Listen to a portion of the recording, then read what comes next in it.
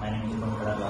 I completed uh, software testing in Principal Panjavita and I am placed in uh, Indian software as a gaming testing. My package is uh, PhD and my uh, job is my name is Pankadala.